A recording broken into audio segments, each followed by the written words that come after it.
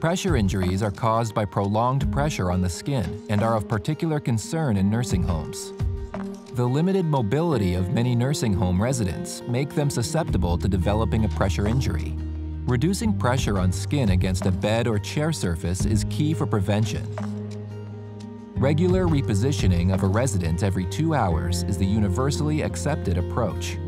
Most pressure injuries are avoidable. However, once developed, they can lead to infections, amputations, and premature death. Treating pressure injuries costs approximately $26 billion annually in the U.S. Prevention costs are much lower, making it a priority. The introduction of high-density foam support surfaces has reduced the incidence of pressure injuries because of the redistribution of pressure against the skin.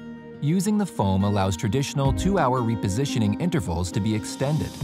Few studies have examined repositioning protocols, and those that have focused only on moderate and high-risk individuals. Yet all nursing home residents are at risk.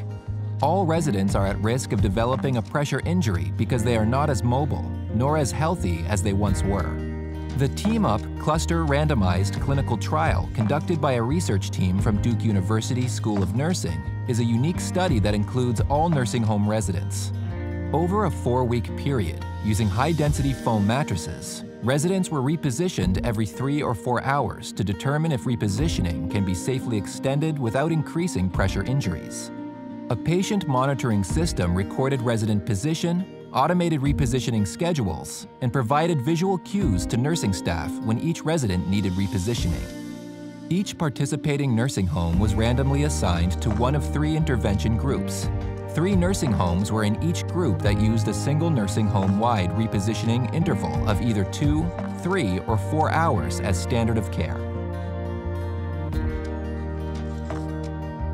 The trial had two main aims.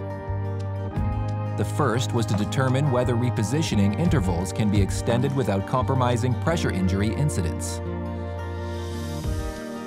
The second aim was to determine how changes in medical severity interact with the resident's risk level and repositioning schedule.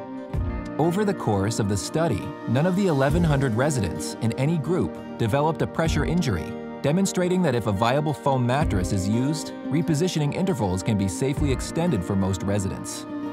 Because daily activities keep staff and residents busy, having a visual cue reminds staff when resident repositioning is due shows great promise. For most, extending time between repositioning intervals to prevent pressure injuries can be done. Additionally, sleep interruptions are decreased, which is important for health and quality of life.